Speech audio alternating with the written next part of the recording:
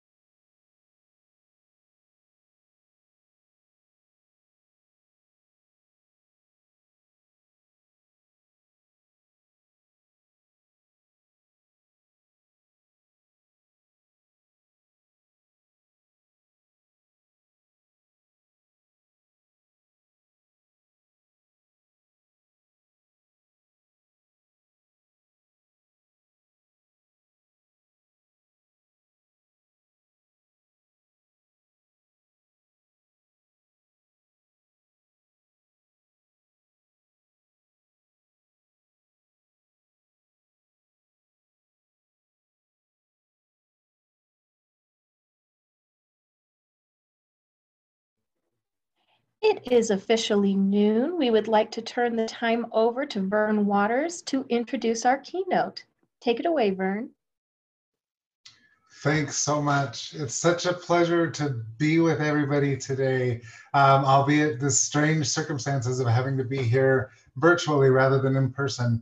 Um, it was such a pleasure to be with you last year up in Brigham City um, on a lovely fall day, kind of like today. And um, just kind of wanted to share with you just a little bit about um, the process of when we decided that we needed to cancel the conference.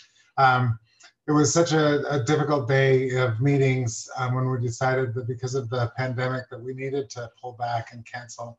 Um, one of the things that um, gave me the most sadness and trepidation was the idea of contacting our keynote speakers to tell them that we had to cancel.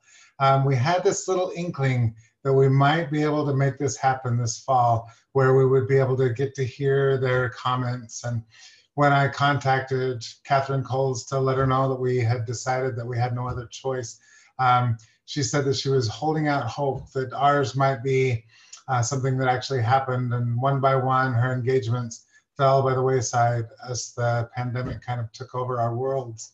Um, so it's such a pleasure that we've been able to work it out and to be able to kind of move those portions of as much of the conference content that we could to this fall workshop. So thank you so sincerely to Valerie and Aaron um, to be able to make this possible. Um, I do have my uh, pandemic mask with me, steampunk kind of plague doctor mask should things get crazy here um, at my office in South Salt Lake. Um, but uh, yes, thank you so much for joining us. And I hope that you enjoy the presentation.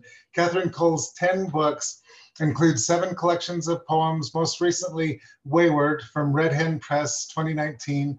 Her memoir, Look Both Ways, was released in 2018 by Turtle Point Press. That press will also publish The Stranger I Become, Essays in Reckless Poetics in 2021, and a collection of poems, Wouldn't Dream, in 2022. 2018 2019, she was the poet in residence at the Natural History Museum of Utah and the Salt Lake City Public Library for the Poets House Fieldwork Program. She traveled to Antarctica in 2010 to write poems under the auspices of the National Science Foundation's Antarctic Artists and Writers Program. She also has received awards from the National Endowment for the Arts, the National Endowment for the Humanities, and the Guggenheim Foundation. She is a distinguished professor of English at the University, University of Utah, and it is my pleasure to introduce Katharine Coles to you. Um, Kate, I'm so happy that you could be with us today. Uh, we're so excited to hear and so happy that you're you're here with us. Thank you. Thank you so much, Vern. And uh, I'm going to follow the directions and share my screen here. Uh, and I hope that you can still see me. I think that you can. It is so lovely to be among librarians uh, who I think are every writer's favorite group of people. So I want to share a little bit with you um, about librarians and my experience of them. The first one is just from this morning. Katharine? I had warned. Yeah. Uh, we, I hate to interrupt, but could you uh, make it full screen, your slideshow? Oh, I'm sorry. I Not a problem. Was. Hold on. Let's go. If you go into slideshow, and then presentation. Right. Presentation, slideshow. Hold on. There we go. There Can you see the whole thing now? Okay. My apologies. This whole technology thing, um, as you all know, is a little bit um, stymieing from time to time. So anyway, um, this morning, I had warned everybody yesterday uh, during the run through that we have a lot of chainsaws still going in our neighborhood after the big storm. And I was a little bit worried about that, but I went out this morning and I told the guys working uh, in the yard next door that I was going to be talking to a whole bunch of librarians at noon. And so if they could take their lunch on time, that would be really great. And they got wide eyed and they said, librarians, they're really smart people. Um, when I was a child, I went to the Salt Lake City Public Library, which is now the Leonardo, and I took out 10 books a week, uh, every week. And the librarian never asked me that question Are you sure that you can read all those books? She knew that I could. Uh, and then I had to pay a dime a day per book if I was late getting them back, which was a lot of money to a kid in those days. In the summer, the bookmobile every week parked right in front of my house so that when I was 12 and wanted to check out Crime and Punishment, the librarian was able to just hop up to my front door and knock and make sure it was okay with my mom if I had that book, uh, which is great. So I decided because of It's You that today I was going to talk about and read from this memoir about my grandparents. That's my grandmother on the cover, uh, because it's really research heavy. And you're all by nature research geeks, whether you work in archives, stacks, or digital media, all of which came into the making of this book. So just to locate you a little bit, uh, at its heart, Look Both Ways is the story of a marriage, and especially of the woman living within the constraints of that marriage. The book begins in the mid-20s at the University of Wisconsin, where my grandparents, Walter Link and Miriam Walliger, nicknamed Mookie, both take degrees in geology with the idea that they will set out together to do the important and exciting work of finding oil to supply the surging demand in the US but there are no women working in the field in South America or what was then the Dutch East Indies, where Walter's new employer, Standard Oil, sends him. To the detriment of their marriage and the two people within it, then only one of them, Walter, is permitted to do that job as he works his way up through the company, uh, eventually becoming the chief geologist and the head of exploration worldwide for Standard Oil. Um, and as he does this, he becomes convinced that this is the way not only things that things are, but the things that the way they should be.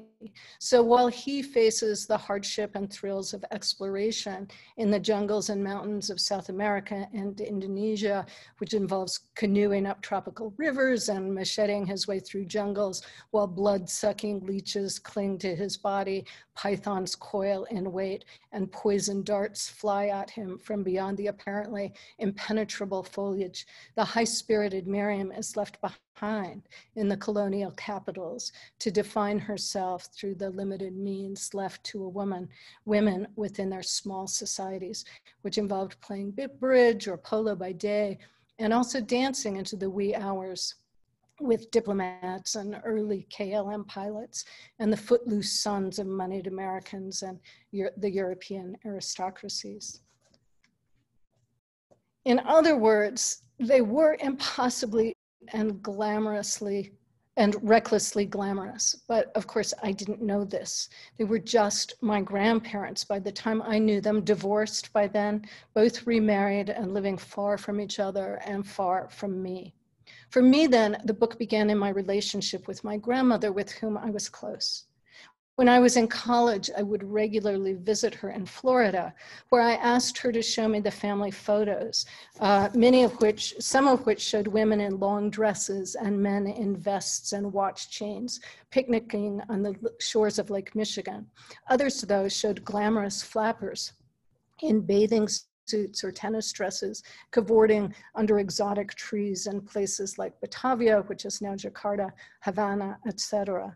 Over her evening cocktail, instead of putting on the news, I asked her to tell me and then write on the backs the names of the people in these photographs. Fast forward to the early 1990s, I'm married. My mother and her brothers flew to Florida to shovel out my grandmother's house in preparation for her move to assisted living. So my mother, Joan, called me uh, from Florida to read to me a list of the things that she knew I probably wouldn't want or use, but that she wanted to send to me uh, anyway, including elaborate tea sets and things like that. Um, so I said, sure, go ahead and send them. But what I really want is the evidence. I want the papers. I want the journals and letters. I want the photographs. I want all that stuff. So there was a long pause on the end of the phone. And my mother said, I think we already threw all that out.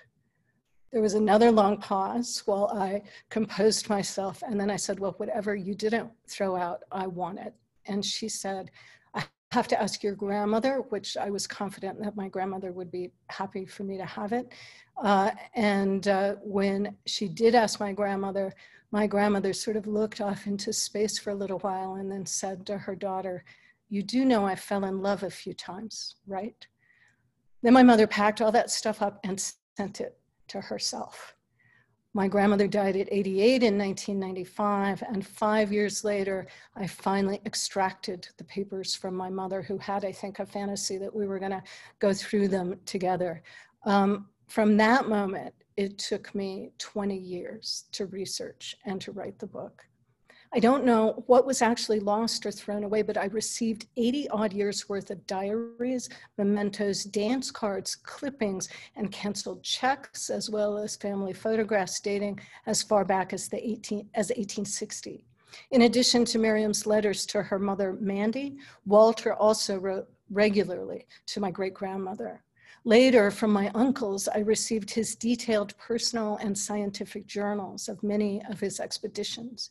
Beginning in 1926, he shot approximately 20,000 feet of film documenting his work as well as the customs of the remote tribal peoples with whom he came into contact for the first time in my life, I went down the rabbit hole of real research. I'm a poet, and so mostly I have been working with things that are about this big uh, on my own page in front of me. Uh, so the research research didn't uh, only involve the sorting and the reading and the deciphering of the handwriting on those thousands of pages, but also running down the names of people mentioned in those pages and events and places, not to mention the books and poems the writers were reading and mentioning and which I also read. Eventually, I realized I would have to travel to see firsthand as many of the places where my grandparents lived as was remotely practical. I pursued them to Singapore, Indonesia, Colombia, and Cuba, following as closely as possible in their footsteps. I acquired and used not only current information and travel guides, but also, whenever possible, information and guides from the times when they were visiting and living in those places, mostly the 20s, 30s, and 40s. As I read and traveled, I also broadened my understanding of the larger implications of my grandparents' story as it played out against the development of the energy industry during a period when it really profoundly shaped US scientific development and the development of the state's imperial aspirations and also their foreign policy. In this way, the book is really about a couple of kinds of adventures the kind that is undertaken through travel, rooted in the body, and the kind that is undertaken in the imagination, here enacted through close and sympathetic reading of the terrain underfoot. My grandparents' years abroad were defining years for them and also for our country, which arguably continues to experience its own clumsy crisis of identity. And they were crucial years in laying the groundwork for the relationships that the US currently has with other regions of the world. There were also years during the, which the lives of women, both within the family and outside it, were undergoing rapid and often unsettling changes. In reading the lives and words of my grandparents, my goal be, became to illuminate how, as Americans and as men and women, we have arrived in the place we occupy often uneasily today.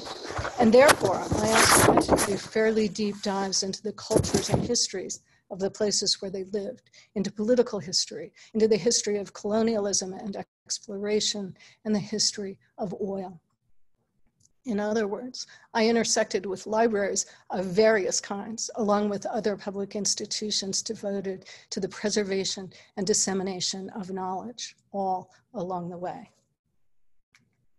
Which is one reason why, after all that, I'm going to read to you a chapter that Miriam doesn't actually appear in in this book. The chapter follows Walter and his expedition as it climbs deep into the remote mountains of Luwuk, an island in the Celebes. It also follows me on one of my less glamorous but more interesting research trips to the Smithsonian Institute institution's uh, human studies archives in suburban Maryland outside DC, where my mother and her brothers have donated my grandfather's films. So uh, I'm going to read to you from the book, and um, there are a couple of things that you need to know because this is chapter 11, it's kind of far in. Um, I quote really extensively from my grandparents' journals and letters in this book. Um, and I do it without a lot of warning. I just embed their quotations into the text in italics if you're reading. But of course, you can't see that. So when I raise my little clicker like this, it means that I have just slipped into speaking in one of their voices. Um, the common language uh, that, that uh, Walter is speaking with his um, laborers is Malay. Uh, he doesn't speak it very well. They do. Um, Walter, at this time, uh, is recovering from Miriam's emotional affair with his uh, best friend, who was the Canadian trade attache in Batavia. Uh, she's back home waiting for him, pregnant with my mother. Um, and uh, during this chapter, just as Walter's travels take him away from Miriam, Mine are taking me away from my husband, Chris, who's not all that crazy about all the travel that I do. Um, and then I just want to make clear that as heavily researched as it is, this book is a poet's book and a work of the imagination, not a work of scholarship. I don't put in any scene that I don't have evidence for in the documents that uh, that I use, but obviously you will be able to tell that I've imagined my way into these scenes in a way that the documents themselves don't entirely support. And then one final comment, you'll notice uh, that all of the slides here are sketches. Um, in addition to filming and photographing his expeditions, my grandfather continued the low-tech practice of hiring sketch artists to document them. These sketches are drawn, that you're going to see are drawn mostly from the sketchbook that was made on this expedition, with a few exceptions. Um, the expedition became famously known in the family as the Terrible Celebes Expedition. But um, that sketchbook was unsigned. Uh, the artists, who are mostly uh, what my grandparents would have called half castes of Dutch and Indonesian heritage, remained as anonymous as the laborers, which my grandparents called coolies, uh, as did all the Europeans and Americans. And you're going to notice that there are places where I adopt Walter's language, which was the only practical thing I could do given the extent of the quotation that I was doing from them. Um, these laborers were constrict, conscripted, conscripted as all but slaves to do the strenuous work of carrying, digging, and building that had to be done. Uh, only one of these sketchbooks was actually signed by its artist, along with the two geologist tuans or bosses. And I include that page here in honor of them all. This chapter is called The Devil and the Deep Blue Sea. Luwuk lay on a narrow shelf along the coast, its mountains soaring almost straight from the sea. The SS Jacob pulled out at 10 a.m., and with it went the last communication of what we call a civilized world. A packet of letters to Miriam, one to Mandy, letters he wrote to be shared, perhaps, but not to be read the way I read them. He stood on the dock, Mom's tails tucked under his arm, tails I also read to draw near. The SS Jacob is straight out of the stories, a junkie ship still used to fly around the islands, as are the thatched huts on stilts, the small European fort. With this isolation begins a new adventure. He walked to the Dutch controller's house with its deep veranda. Even here, the depression had hit. A world away, Americans skimped on coconut oil, kept their worn rattan chairs another year. The controller promised 40 coolies. This he is glad to do because in these times, many of the natives cannot pay their taxes. Not quite indentured labor. In a few weeks, Augerbeck would join him, but for now, he was on his own. I always feel like a little boy in a big, strange, mysterious place. He tended to details, moving toward the moment he would overcome his resistance, making the first start. And the real work, its violent physicality, began. It was the part of every expedition he liked least. Here, though I will never enter this particular wilderness, I'm with him. At the start of every adventure, of every book or project, the inertia and the question how do I begin? The only thing to do is to get it over with. The first start. A vertical wilderness. I've followed him only in words. Now I want to see what he saw. I remember ghostly images flickering in the darkness of his study in Laporte. Joan and her brothers complained wryly about the times he subjected them to his films and lectures, but my brothers and I were riveted. The films, where are they? Walter set out with the minimum of equipment and, and food and only 20 coolies to their first camp on the wild Kenton River. In the morning, he took the two most, most agile men to scout the gorge. Above sheer cliffs rising hundreds of feet, a strip of sky glowed hot blue, but below, deep in rock shade and mist, he shivered. Late in the afternoon, something changed in the air underfoot, vibration, more intuition than sound, and he paused, gazing upriver. Under the tumble of whitecaps, a shadow crept toward him, the line between clean water and silted so distinct he could have drawn it with a pen. Somewhere above, it was raining hard. The line swept past. The water, now the color of chocolate, began to rise with a surge, began to rise with a surge of panic he contained, reduced to the size of a bean behind his ribs as he turned the men around. My heart is pounding. I too have been trapped in a narrow canyon with the river rising, cliff faces loosened by water shearing and plummeting around me, though not in a place where my body would never have been found. In 20 minutes, water had inundated the trail. Hugging cliffs, they stepped from boulder to slick boulder. Water swirled around their knees, waists, necks, sweeping with it branches and debris. Walter stumbled through the brown tumult, pulling at his clothes, his feet in their heavy boots like blocks of cement. His two men, all but naked, were quick and sure. They went places I could never even attempt to go. And when we crossed the river to the north side, they stood on both sides of me in heavy swirling water and handed me across. 10 more minutes, 10 more, driven by adrenaline, trying not to let it overtake them. Almost an hour to travel a mile. Soon the water would rise over their heads and they would have no choice but to try to ride it. Desperate, he scanned the rock walls until he found a narrow opening. They stumbled, the water dragging at his trousers, the river's roar urging them upward a hundred feet, two. Finally, they heaved over the lip of the gorge and lay panting, looking down into a wild chute through which entire trees now tumbled. A wash of relief, pure wonder.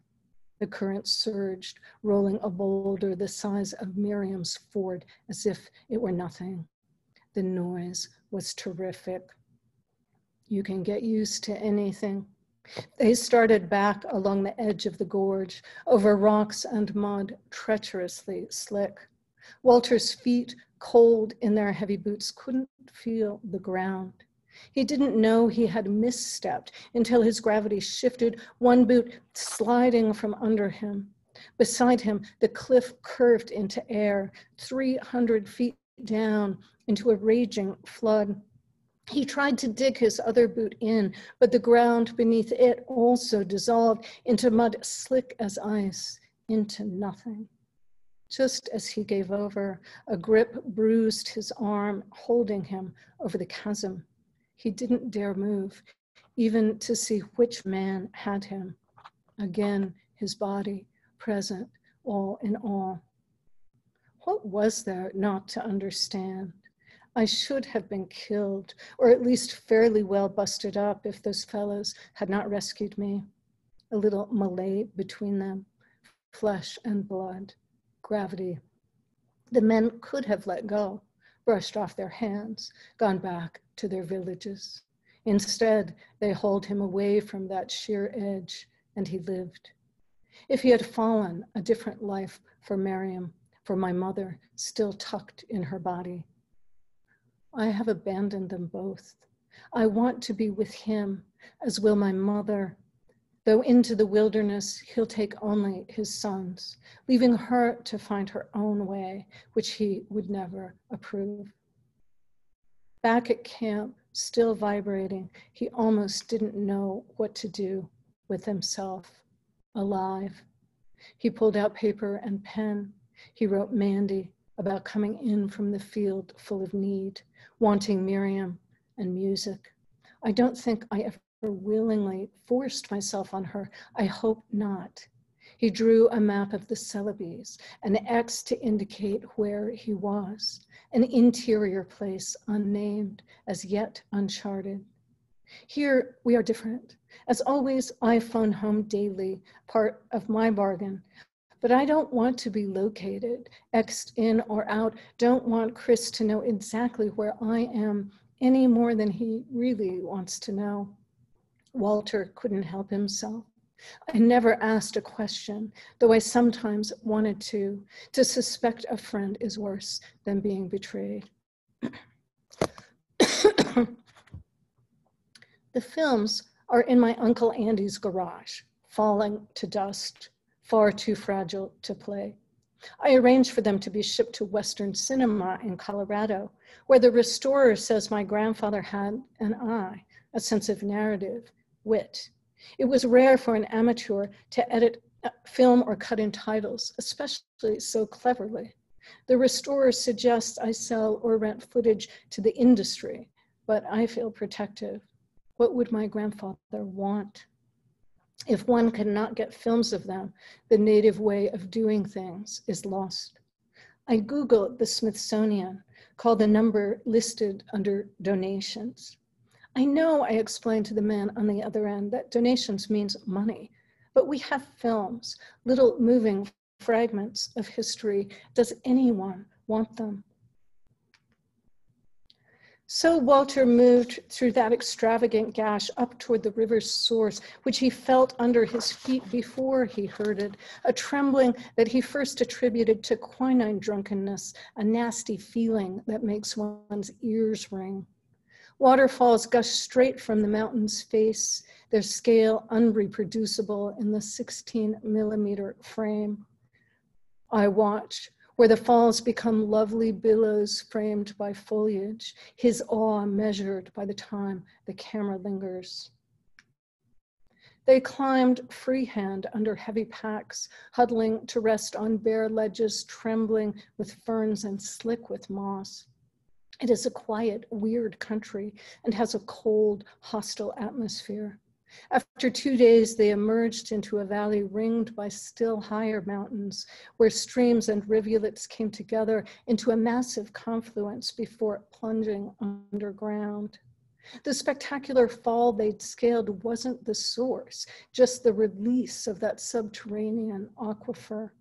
The sudden rise of the main rivers is not such a surprise. The water created as many problems of geology as of travel, falling over the exposures he needed to see, depositing silt.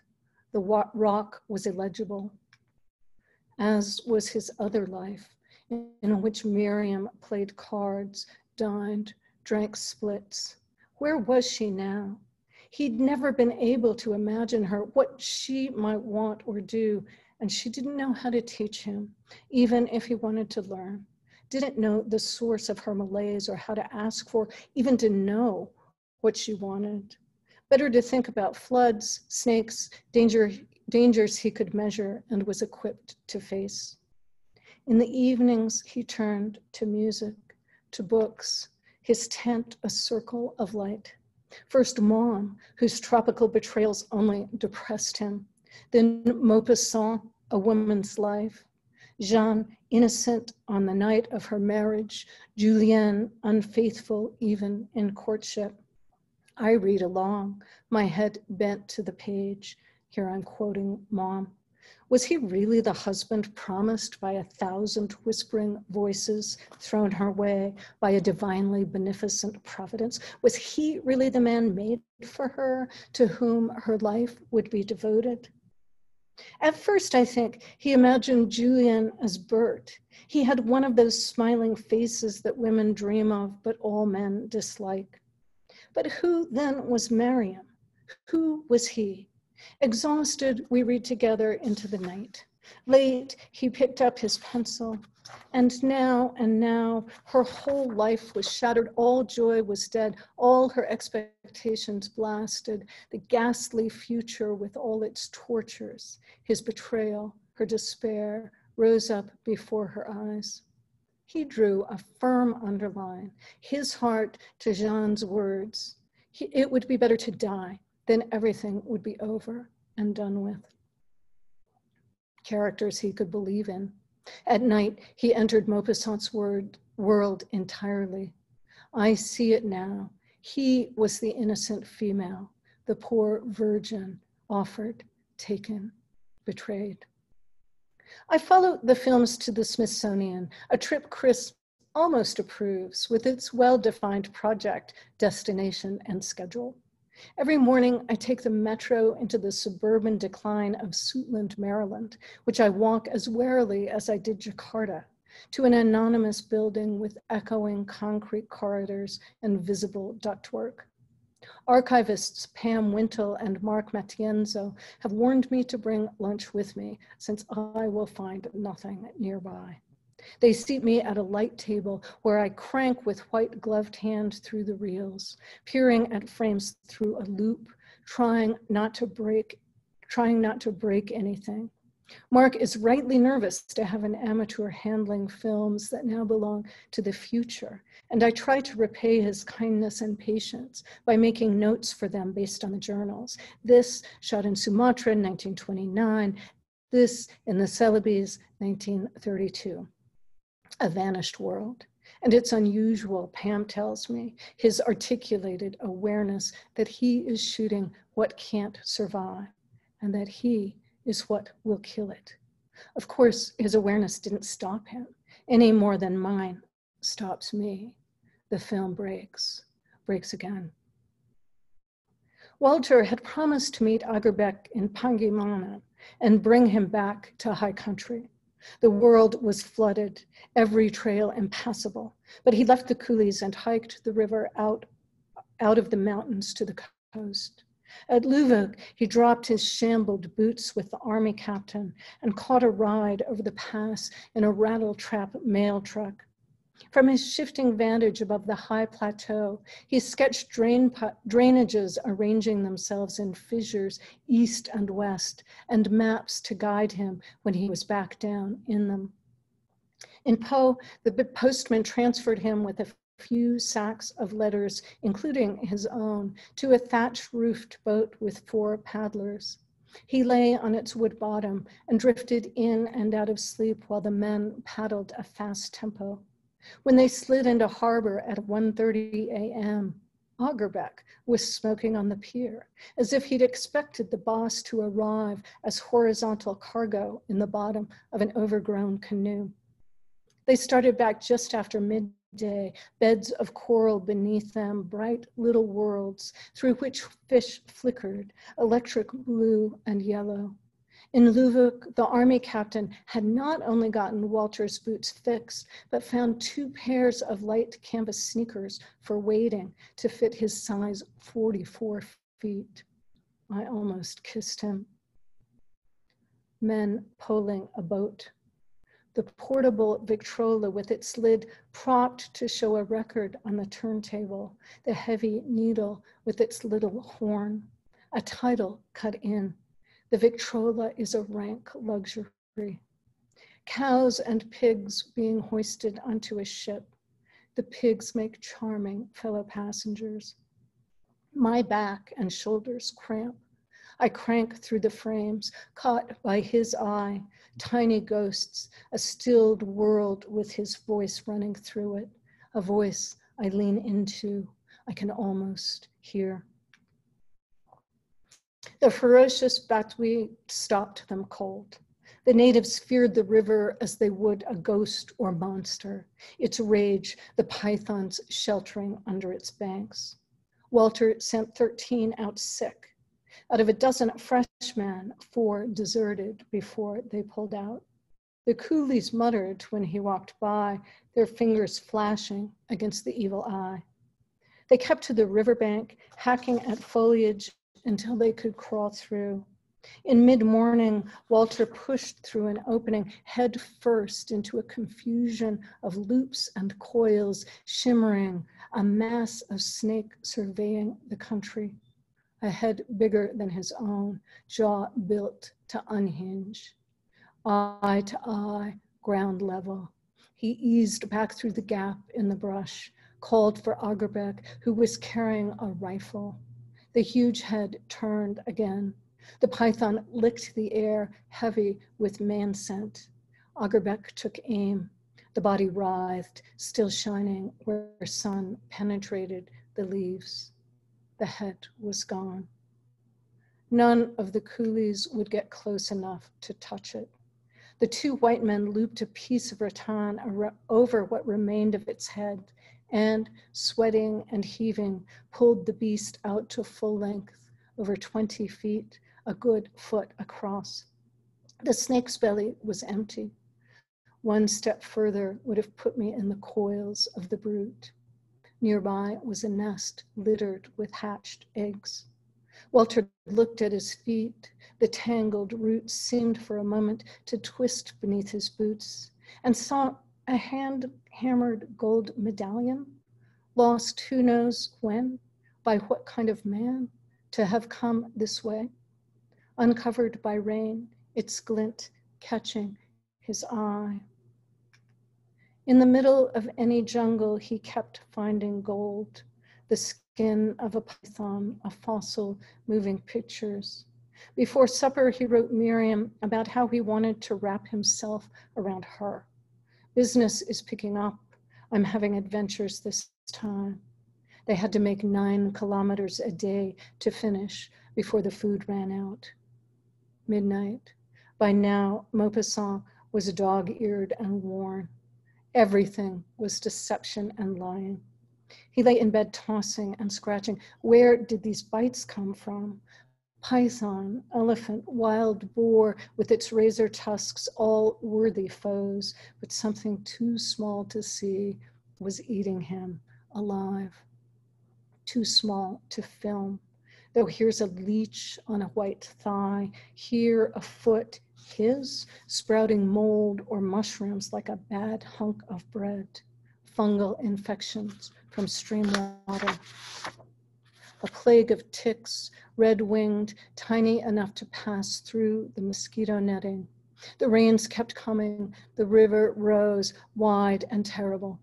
If they could build a raft and get it once to the far shore, they might run a line and ferry men and goods in shifts. Walter Agerbeck, the Mandur, the natives felled and stripped bamboo trees, lashed them together, lowered the raft to the riverbank, repelled the cliff, and passed down their gear. Walter christened the raft with a bottle of beer and secured it with rope. He lined the men up on the riverbank, all of them tiny now in black and white. Crossing the Delaware was a snap compared to this. Note the coolie taking off with the line. The first coolie stood in the, in the bow, holding the line's free end, while the others pushed the raft out into the current, hanging on as long as they could before giving it a mighty heave toward the other side. The current carried it back into midstream before the man could leap for the far shore. Man after man took his turn on the raft. They labored through afternoon, wet and exhausted from battling the river. Walter might have to think of something else. The Mandur was short and scrawny, used to command more than labor, and Walter had left him almost for last. Again, the men pushed the raft out. Again, the current began to take it. If Walter hadn't been filming, he would already have been turning away in disgust when the Mandur plunged off the bow into the furious water, momentarily swallowed. His head surfaced, disappeared after a breath, breathless second, reappeared, then his shoulders, and he pushed the last few feet up the steep bank. I got a movie of it all. His triumph, proof that here, against the forces of nature, he knew what to do. I, at last, not only reading, but watching, almost there, make my note on the Batui River, 1932, crossing in a flood. Once the raft was secured on both banks, they needed six men on a rope and three poling to move it back and forth. A title cut in Bend your knees and bow your head and pull that rope until you're dead. By noon, gear and men were sodden, but all were on the other bank. My husband, my high school sweetheart, my friends, they think I am wild, that I fling myself into danger, that I want to make myself spectacular. Watching this safe in Suitland, I know. My failure is not that I'm female, which is no excuse these days, but that I'm smaller than I look, mere, modern, above all, bookish. I will never be larger than life. Even from her, I am a tragic falling off.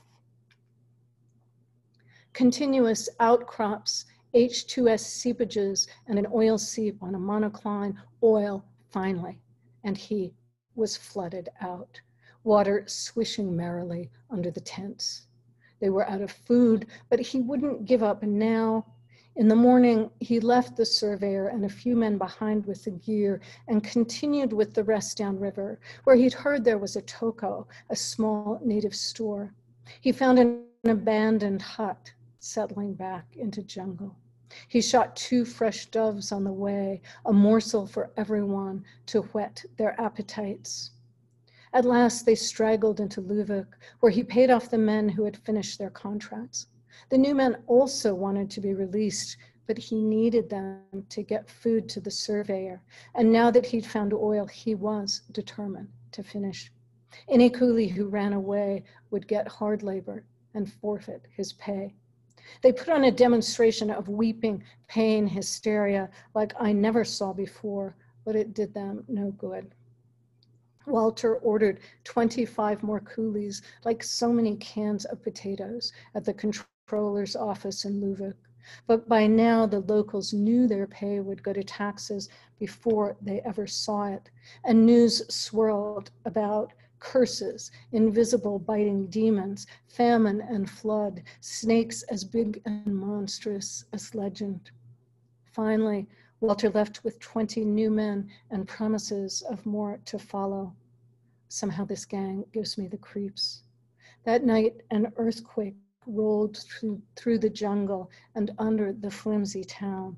For five full minutes, the houses danced on their stilts. Nature couldn't frighten him if humans would only cooperate. But the next day, seven men set off after breakfast without a word or coin in hand. The day after that, he awakened to find only 10 men. He needed 30 to carry gear and food. They stole away like thieves. I am sitting in the soup. I hope they all die. He was content to be tired and wet, to do backbreaking labor just like an ordinary coolie, as long as he was moving forward, his life in his own hands. He never thought about their lives any more than Mookie's, about their hands, which had saved him. It seems such a waste of one's precious young life. One day, too, if the Mandur came back with no coolies and he had to cut out, the Victrola would stay behind, his camera, his films lost to the jungle. Another day passed. Here, he is not much different than the man I remember reciting Robert Service 40 years later, though he is unshaven, dark rather than hoary, and haggard. His narrow head is bowed, his long ten hands tented, eyes gazing into the jungle while dance music pours out of the Victrola speaker. As the record turns, does he imagine another man or himself spinning her in his arms, silk pouring over her hips like fast water? Four days, no mandur, no man, no sugar, no potatoes. That night, there was the second earthquake. You could see the tremendous trees move and sway. The whole earth felt in motion with a sort of billowy wave feeling. The earth turning to nothing while he rides his cot. After it stopped, he lit his lantern and smoked his pipe, gazing into the dark. Eventually, he reached for pen and paper and wrote to Mandy. All this and news from his last trip to town. One of his own wells had come in, the first to deliver oil for any company geologist since he'd arrived in the Indies. On the fifth day, Agerbek shot one dove, a mouthful of meat for him and Walter each. On the eighth evening, just as Walter decided he was abandoned, the Mandur materialized out of, out of the dense jungle, only two men at his shoulders. The runaways had plied the country with stories, all true. I'm all blown up. If they continued, they would starve. A pan of the clearing, tent frames bereft of their canvas. Deserted camps always carry the sadness of past glory, even if occupied only for a day. They built four rafts and floated to Luwuk, to the world, where Walter found letters from Miriam and news that another well of his had come in. He and Agerbek went to the club for their first iced drinks in two months, toasting failure, toasting success. He was sitting a few days later in his rented house on a veranda overlooking the bay when the village chief arrived, asking for wages for the men who had slipped off into the jungle. Now, I ask you, until that moment, Walter had planned to let the runaways go. But as soon as the man left, he walked to the government office, filled out paperwork for filing charges, and handed it to the controller with the money he'd withheld for taxes. There would have been more, he pointed out, if the men had finished their work. In a few days, the government had rounded up half the men. These birds were rather surprised when we walked into the courtroom. They had left, the men said, because their loads were heavy, huge baskets as big as the men, shoulder straps of twine. They'd never complained about their loads. The interpreter said, Did you not realize that your running away would probably cause these gentlemen an undue amount of danger that in cases might be fatal? Yes, the men answered. They had known it, their faces unreadable. The controller insisted on punishment. They could have paid their taxes. Two months, hard labor, no pay. Not so different from what they'd fled, only safer without Walter in charge. I am glad they got socked in the neck for the trick they pulled on us. Were the two who had saved him from going over the bluff among them? In a high meadow, he remembered, he had one afternoon come upon the men unexpectedly. They are always complaining about their loads, but there they were merrily playing soccer football at a terrific pace with a handmade rattan ball. A dozen men, having laid down their loads, running and playing. I would like to have seen a movie of that, proof to him of something he already knew. Now I ask you. I'm gonna stop this sharing. Uh, and come back to you for uh, for the Q&A. If there are any questions, I don't see any, um, I'm happy to have them.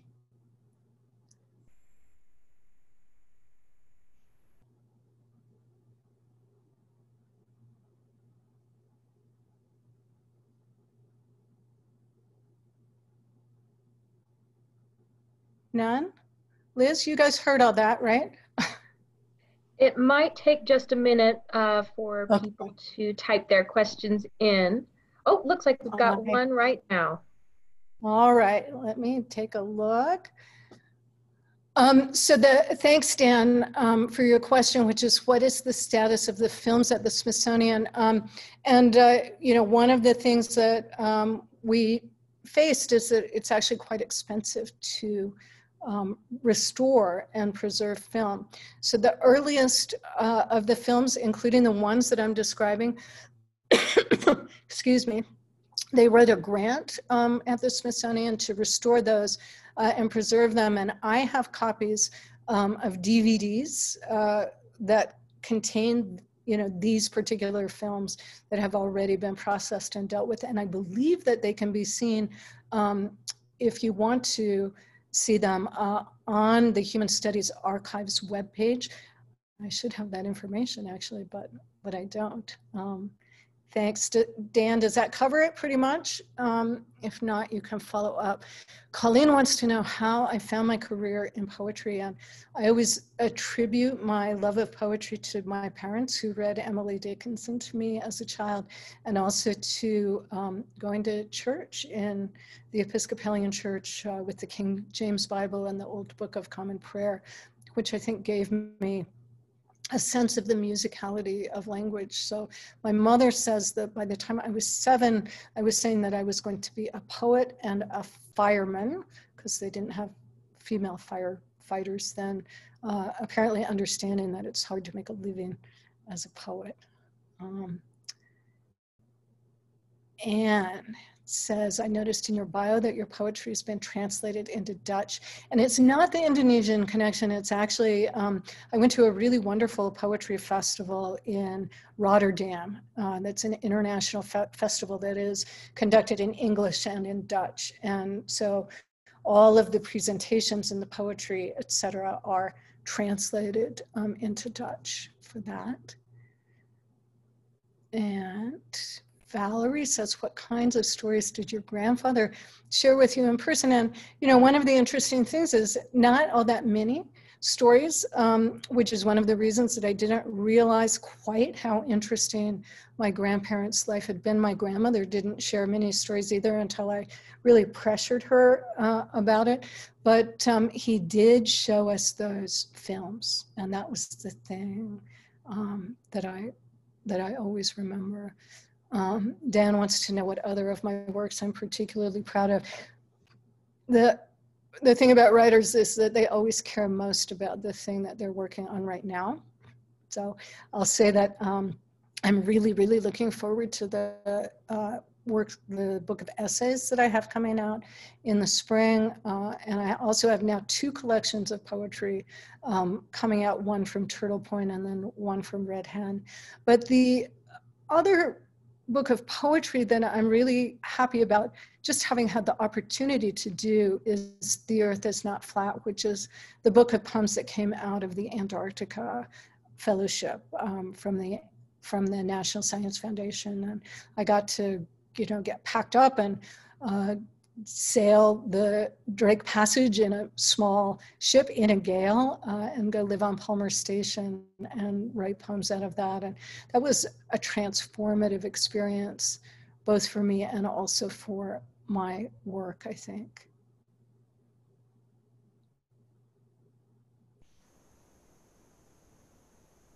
If we have any other questions, you can type them into the Q&A now. I have to say it's very strange not to see you. Uh, I'm glad to be here, but I wish I could see you all.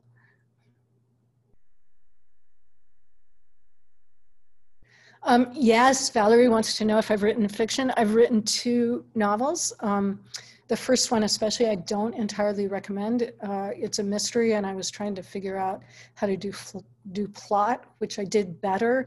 Um, that one's called The Measurable World, and uh, the second one is called um, Fire Season, and I, I do think that that's a better novel if you're interested in reading one. Um, and the Orem Public Library wants to know how we help children develop their voices in poetry. And I actually think that the way to do this is simply to expose them to poetry and especially to the pleasures of poetry. You know, not doing, I analyze po poems um, till the cows come home with my students, but um, my students are, they already know how pleasurable poetry is, um, how much fun it is just to listen to.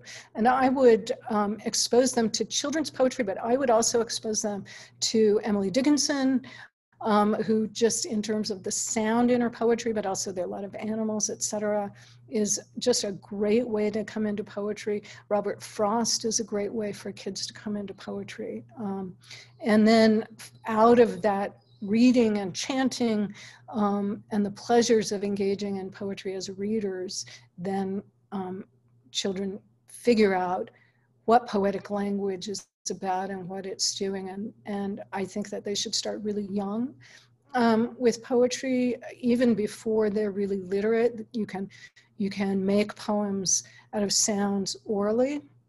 Um, and then the other thing that I would say is that um, it's a really good idea if you want to develop voices not to try to put put um, kids into boxes with their poetry. Whenever I judge a poetry contest where they're supposed to, you know, write poems honoring the flag or something like that, it's always the kid who wrote something else uh, who writes the best poems. So not to be too prescriptive or too restrictive. And Sarah wants to know, what have I always wanted to work on or with, but never had the chance to do? Um, and I'm going to give a terrible answer to that question, uh, which is I've been so privileged and so lucky that I have, especially in later years when I got brave enough to travel where I wanted to travel and to write what I wanted to write. Um, this is a lot easier, you know, after you have tenure at the university, etc. Um, I've always been able to manage to do what I want to do in the moment. Um, that's probably partly because, you know, I never thought that I needed to learn to play the saxophone or, you know, to make a blockbuster movie or something like that. Um, I'm really interested in what I get to do and very happy about it. Um, and Wanda wants to know about preserving all of the sketches and thank you so much for asking the, the deal that we have with the Smithsonian or the promise that we've made the Smithsonian with the Smithsonian is that eventually all of the documentary materials will also um, go to the Human Studies Archive. So even though they specialize in films, everything will be housed there together. Um, and I always thought that that would happen after I finished this book that I just read to you from. But my um, my niece and her husband are both um, are both historians, and Cody, Sasha's husband, is a historian of South of South America in the 20th century. And so I promise them that I'll hold on to that material until they know whether they want to use it. I suspect that they will at some point, and then it will go to the, the Smithsonian uh, after they're done.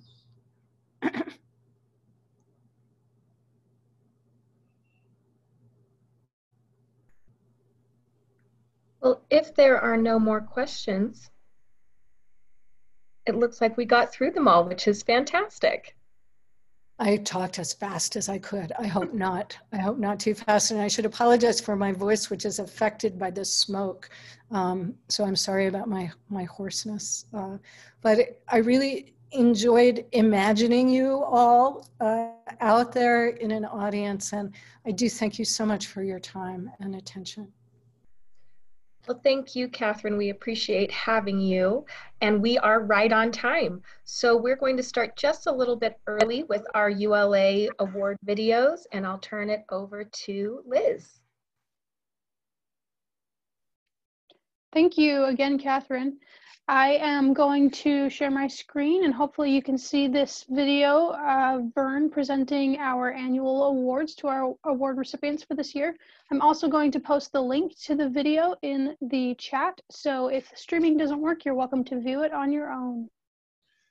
Can I just add quickly, thanks to Rita, the president-elect, for putting the video together for us.